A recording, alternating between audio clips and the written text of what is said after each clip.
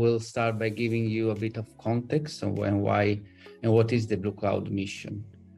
Um, okay, so um, let's talk about the acquisition of marine and ocean data. We do that uh, for many purposes, conservation directives and so on. And in Europe, we spend uh, more than 1 billion euro a year for marine data acquisition. Um, according to uh, an EMODnet study.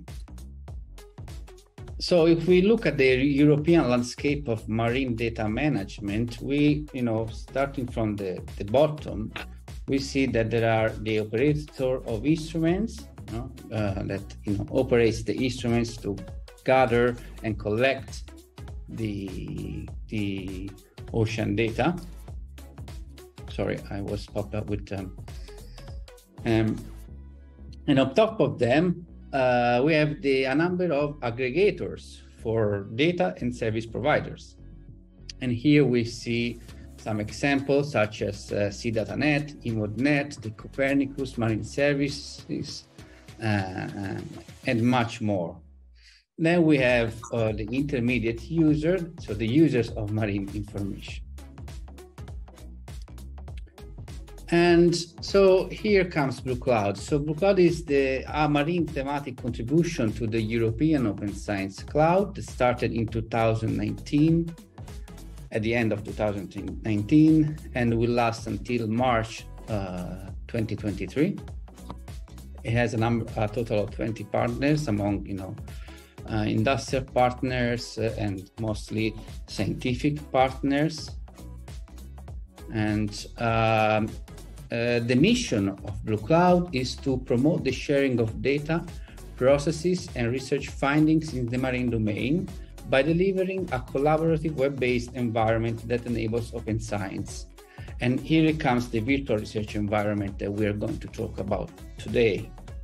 The virtual research environment uh, basically uh, provide access to a wealth of marine data resources and interoperable added value services and products.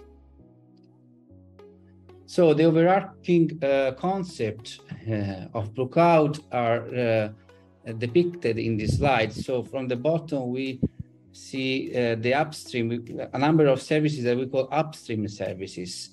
And here, say the measure of, of this service is the discovery and access service. Basically, services to allow the discovery and access to dataset from many resources. Which are the resources? We're, we're going to see uh, in, in, the next slide, but basically all the collector and the aggregators of the ocean data that uh, Blue Cloud federates.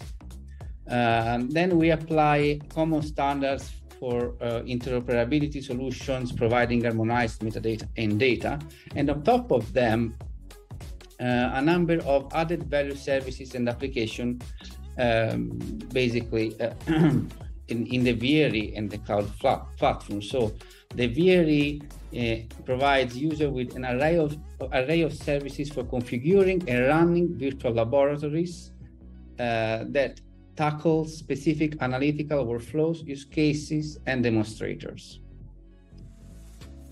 Now we see here in this slide the federation of the major infrastructures that Blue Cloud uh, federates, actually federates. So on the left, uh, on, on your left, you can see uh, the, the what we call the blue data infrastructure. So the the, the, the, data infrastructures that are federated by Blue Cloud and that can be uh, accessed, can be queried, uh, you know, where the user can look for when they need to uh, search for uh, data sets of interest for their research.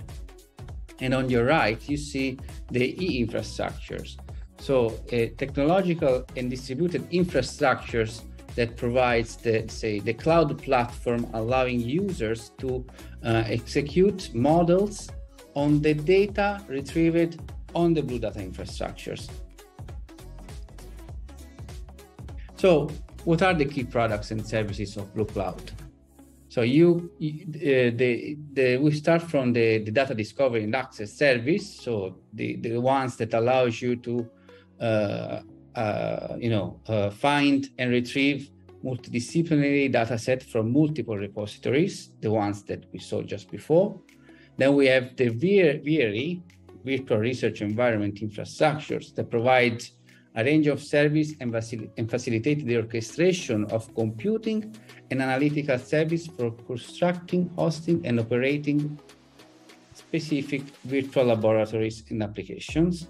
And on top of these, uh, we have the demonstrators. We have uh, the virtual laboratories that uh, are configured with the specific analytical workflows that serve as demonstrators and can be adopted and adapted for other inputs and analysis. So we need to have a number of, say, uh, demonstrators that you know proves that the, the, the, work of the you know and, and the, the, the capacity uh, of, of the blue cloud VRE and the discovery data access service is you know uh, useful for their needs and this is uh, what we are going to see today the VRE the VRE is accessible uh, via the blue cloud gateway that is a web portal running on https blue-cloud.d4science.org. It runs on the D4Science infrastructures. And here on your right, you see the, the dashboard that is the landing page for registered users of the VRE. And uh, I think I can stop here and go directly on the VRE to give you a quick tour of uh, its functionalities and uh, describe you also uh, the virtual labs that are accessible on the VRE. So we'll now stop the sharing and uh, go directly on the browser.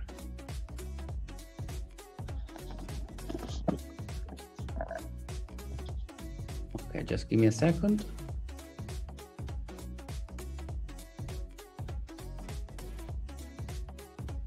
Right. There you go. Can you see the Blue Cloud Gateway on your screen? Yeah. Okay, great. So here we have, say, the, the, um, the home, the public page of the Blue Cloud Gateway. In here, you, uh, if you're not registered, you can have a look of, uh, of, of the virtual laboratories that uh, are available in the gateway. You can also get, say, information of them. Each of uh, virtual laboratory has um, uh, a dedicated page, uh, you know, with the description of, of, of, what they do, some videos, and the partners that are involved.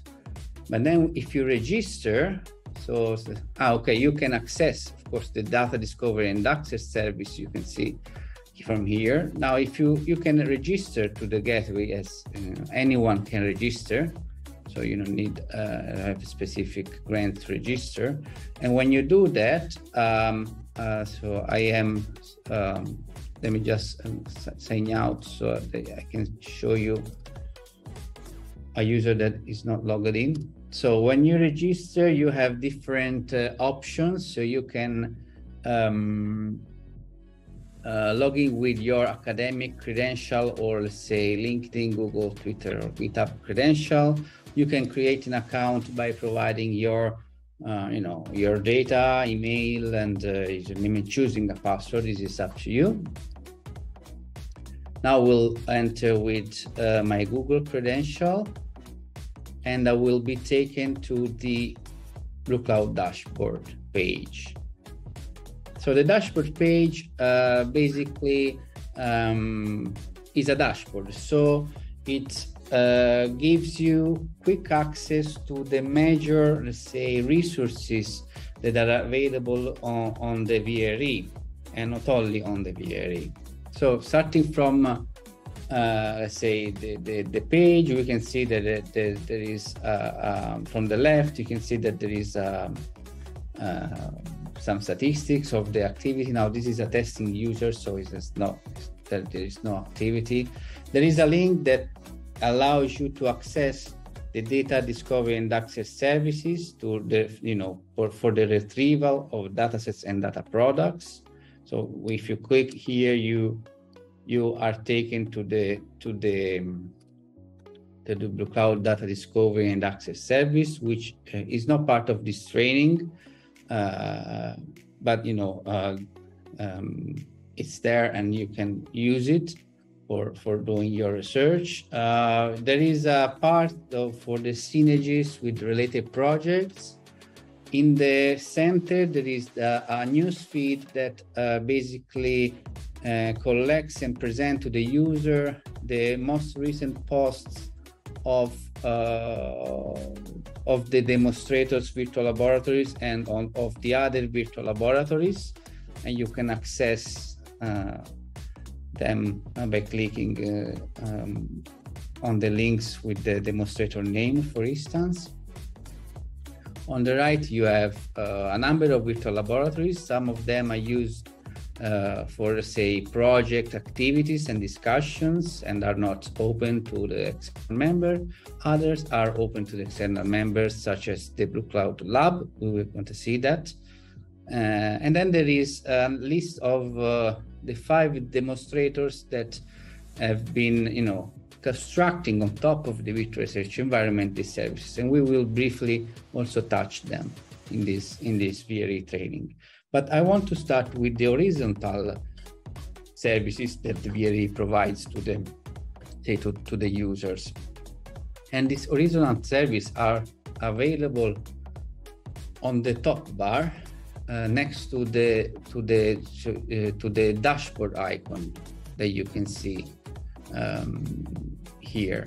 So uh, from let's say that the, the, this icon here, the Blue Cloud Getty dashboard icon, allow you to come back to this uh, to this page from anywhere in the in the in the portal. Then we have the workspace, the cloud storage solution for Blue Cloud.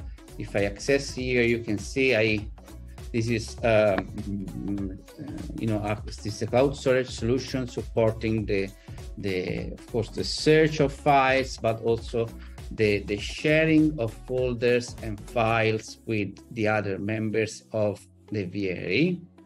It supports uh, links sharing uh, uh, in as private, so only to the members of the VR labs you belong to. Also, also uh, link uh, um, shareable links to to as public so that anyone with a link can download it. And it supports all, also the sharing of uh, folder links. So uh, we'll, we will see that as well later. Of course you can upload uh, you know with drag and drop and uh, you know also archives. And it uh, the workspace keep tracks of any file version transparently. So if you upload a file with the same name in the same location, uh, the file is not deleted, the previous file is not deleted, but uh, and then automatically a new version is uh, created by the system for you, and then you can access the previous version. So next to the workspace icon, you have the catalog icon. So the Blue Cloud catalog icon that we're seeing here, 6-bit plugin. So here you will find data, products, and resources of interest to the Cloud community. And in particular, this catalog features dataset and products resulting from the Blue Cloud virtual laboratories uh, methods that generated them. Um, there are a number of uh, each catalog item in this catalog is accompanied with a, a, a, a metadata uh, schema and a number of metadata that you know allow you to uh, um, allows to enhance the say the fairness of the products um, of the catalog. Here you can also you can search for the items. You can also browse them by you know the products that each of the uh, demonstrator has published so far. So, for instance, if I want to see what uh, the zoo and phytoplankton essential ocean variables virtual lab has uh, published. I can click here and I can see that they have published uh, seven items so far. Um, if you want to see uh, this data set here, this is a spatiotemporal analysis of you know plankton drivers in the Belgian part of the North Sea. and it contains data, scripts, and model output. There are a number of data and resources attached to this, uh, to say, to this uh, catalog item. We can see also the, the, you know, some information about the author, the spatial coverage, and the access modality.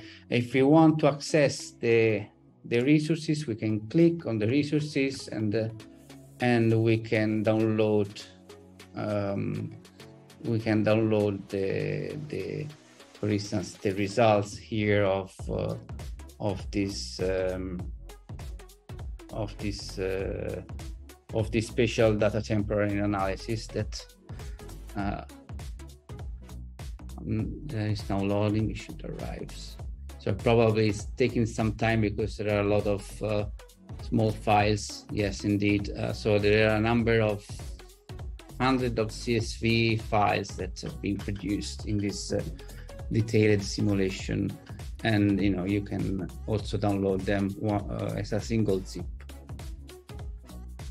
Uh, okay, going back next to the say the book icon that takes you to the catalog, there is the envelope icon for the messages. This is a simple, let's say, um, a simple uh, uh, messaging application, private message application that you can use uh, to exchange private message with with other user of of the the infrastructures. So if I want to uh, want to email the other user, I can you know can select them and I can write a subject. I can attach files from the workspace so one of the being the cloud storage solution, the workspace we see is accessible by any every application of the VRE. So I, I, can also attach a very large file that is present in the workspace, and then I can send the message. And then there is the possibility to search on where the say the newsfeed messages of the infrastructure.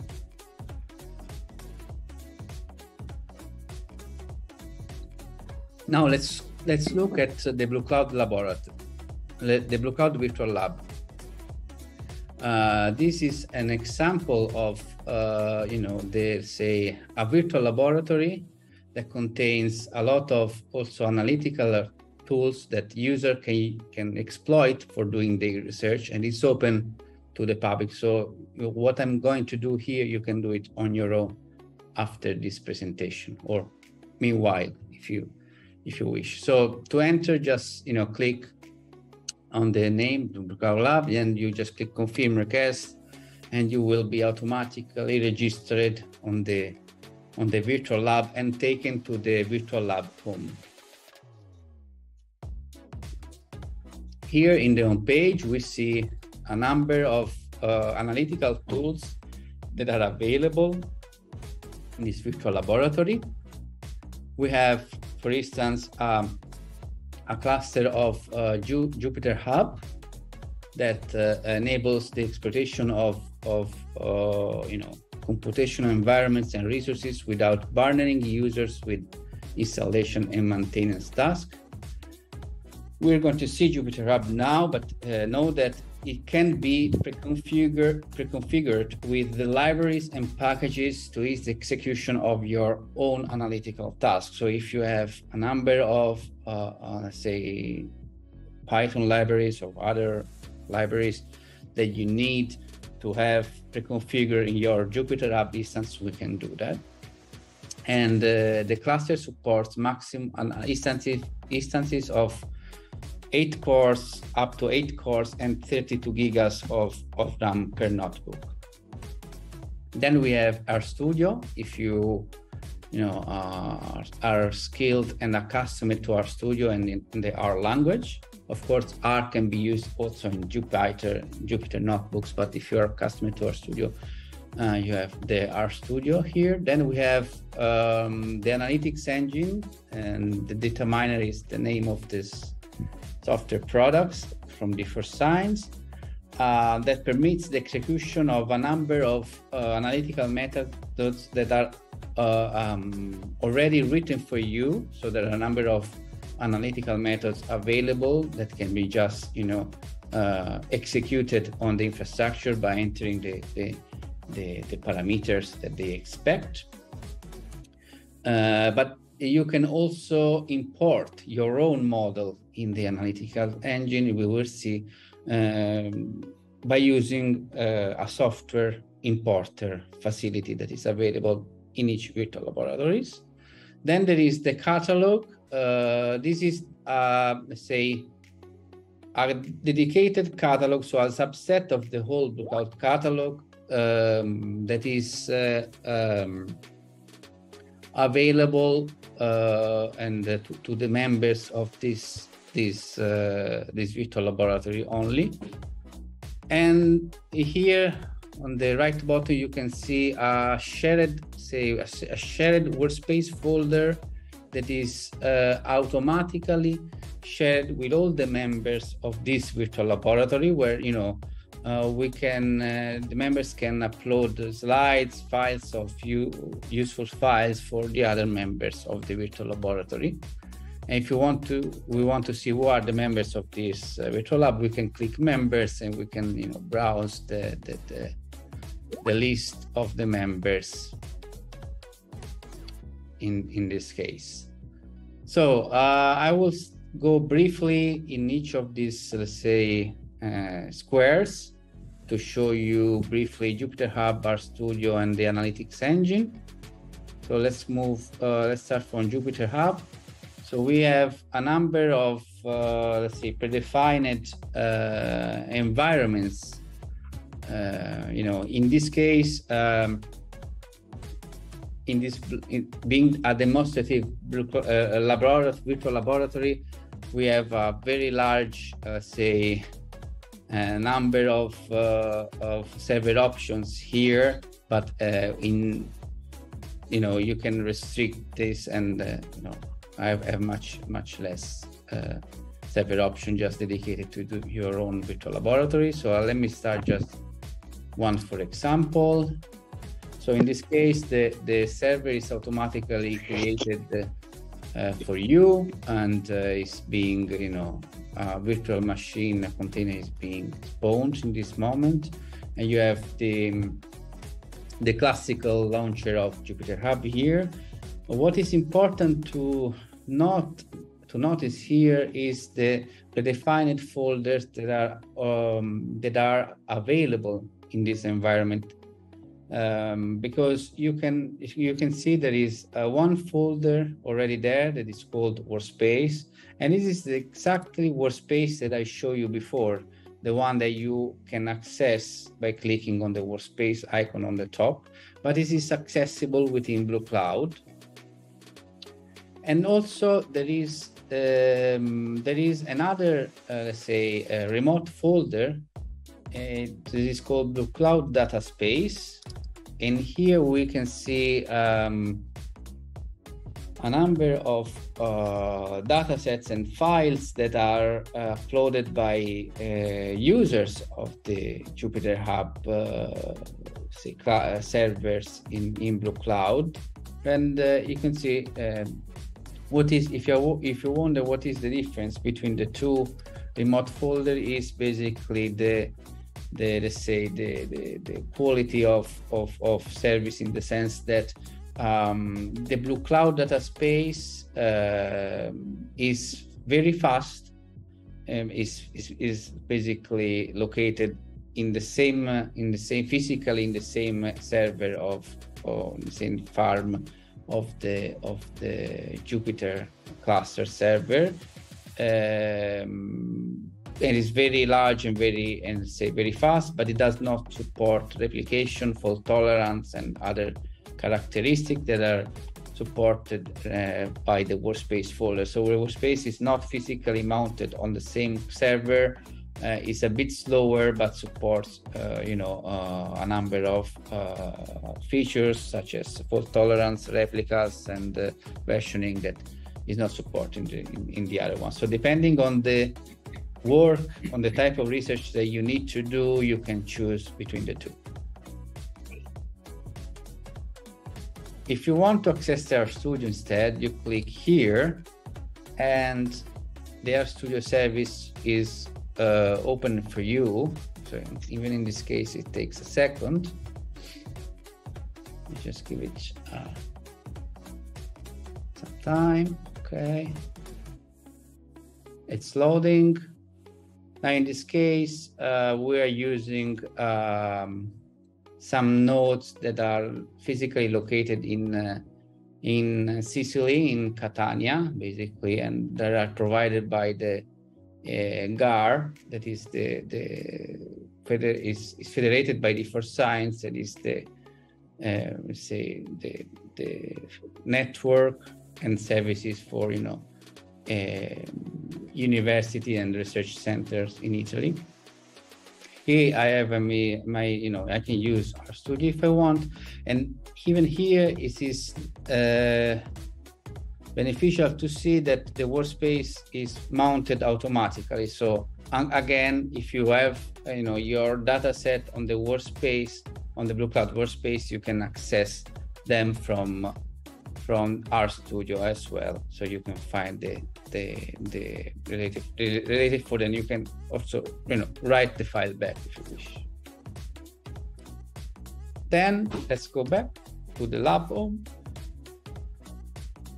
Let's briefly see the analytics engine that permits the execution of uh, say out of the box algorithms that have been published by other members of the of the of the virtual laboratory. So here you can see a number of, um, uh, let's say, methods that have been, or models that have been added, and then you can execute directly on the on this interface. Uh, we will see that you can also get, uh, um, you know, a URL that you can use. So let's just um, briefly check, uh, you know, run one uh, one simple, very simple um, algorithm or, or, a method. In this case just you know to show you how it works briefly. So in this case i have a very simple algorithms that sort words in a list that i published you know sometimes in uh, before this, this, this so this morning just just for the sake of this uh, training. And this this basically just um, uh, expect a, a, a file uh, with the words in input. Uh, we can also see it if you if you let's see what I, what is the input. Just give ah okay you don't see it because it's uh, it's not shared uh, anyway. Um, just let me. I will, I will show you later. Anyway, I can give you a CSV with a number of words. I can start the computation now. The the the say the the software is being uh, uh, you know published on the say computing platform of the virtual research environment. It is a, just an example, very easy, very quick, so nothing fancy here. When it the computation completes, I, I can see the load, the log of the computation. I can see also I can download the results. Again, I don't think you can see it. Perhaps it is worth to see. Just give me a second. Okay.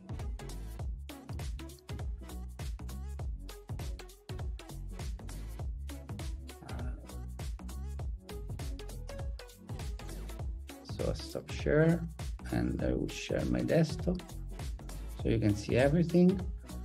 Uh, so the output file of the, the is just a simple, you know, this is the output file and before I had the input file and so but anyways it was you know very very easy very easy algorithm. But let's focus on the on the peculiarity here. The peculiarity is that you can not only check the computation that you performed so far. So this is the the one that i've just ran at uh, 232 uh, Rome time here for each computation performed, I can see the, the a number of, of uh, um, say metadata. I can see the, the, the computation, exact computation that I ran with the parameters. I can see what the input data set were. So here we can see the what was the input data and uh, some metadata about it. I can see the output data sets that were the result of the computation, so the, the CSV file and the log file. But I can also resubmit the exact computation if I want. So I can click resubmit and, uh, oh, sorry, let's try again. Perhaps was too quick. Let's see. Uh, ah, it is in progress. Okay. Okay. It was in progress. I hope you can see it. Now it's starting and the submission was is now completed again. And so I resubmitted the same exact computation with the same input parameters. But what I can also do is that I can uh, get an equivalent get request. So a, a URL that I can pass to my colleague to execute the same exact computation simply by uh, passing them, for instance, on a browser. So if I now I copied it and passed it in the in my browser, and now the computation is being executed. As a result, I get uh, an XML that contains the two results of before, so the log of the computation and the result of the computation and a link to download them. So this is the link that can be used to download the result of the computation. If I, again, pass it into the browser, I can see again the file of before. Good. Uh, so we see the data miner, uh, the, the Jupyter Hub and RStudio. So let's switch very quickly to see the work that uh, uh, um, the demonstrator are doing. So let's move to the, for instance, the zooplankton and phytoplankton EOV products virtual laboratory. Here you can see a welcome page and a number of how-tos that explain the work that the the members and the, the researchers and the and the um, the researcher and the members of the demonstrator have done in this demonstrator. So you, you can see that they have also built a step-by-step -step, uh, guideline to, choose, to use the service where they show that they have the products in the workspace, that they have created a Jupyter notebooks with uh, that they you know they put the Jupyter notebook available, and they show you know uh, how can you use other data in this in this uh, auto guide. So if you, you know, there are the author's reference that you can you can uh, um, you can see the work that you're doing by accessing, for instance, the Jupyter Hub here and um, of the of the demonstrators. And if you go to uh, uh, to the workspace and uh, to the uh, folder of the demonstrator, you can find the the three notebooks that they have built and that are available for for the users with you know the the the data, the figure, the results, and uh, and uh, and everything. So here you can have you know you see the source and, uh, and all basically the work of the demonstrator can be replicated and executed on the virtual lab. As you can see, um, the notebooks is nice because it provides also also the the number of uh, uh, you know uh, this text description that allow user to to to understand the work that the researchers are doing. And here is very well uh, documented. So you can see they use a number of uh, data sets uh, from the blue cloud data infrastructures. They use, use they've used the jupyter and a number of technologies so you can actually execute the code and uh, get you know reproduce basically reproduce the, the the the, results by executing them on the on the VRE. Okay, uh, leave here, I will go back. And uh, I want to conclude the training by um, talking about the possibility of, uh, say, external institutions or external uh, companies or, uh, you know, university or uh, partners to, to join Blue Cloud, so to have their own virtual laboratories. And you can see we have already set up uh, two uh, virtual laboratories for the synergies with the other uh, projects. Probably some of you uh, are already, of course, of attending this this this very training. Um, I want to show you that it is possible also to integrate your own, uh, let's say, application. So in this case, here we can see uh, a web application that was developed in another demonstrator uh, for the is, in detail is this is the marine environmental indicator demonstrator. And here they have uh, built this web application integrated this web application with the platform uh, you know by using the standard for authentication and authorizations that uh, the platform provides and the, the standards for executing uh, models. So they have integrated their models via the, the say the software importer.